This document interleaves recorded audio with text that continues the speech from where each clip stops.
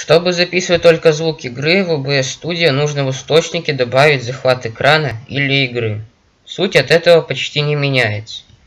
Это первое. Второе. Добавляем захват выходного аудиопотока. Для этого нажимаем на значок плюс.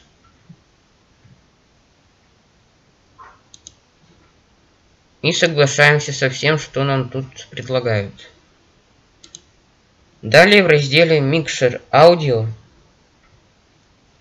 убираем всю громкость за исключением выходного аудиопотока. Для этого перетаскиваем ползунки влево.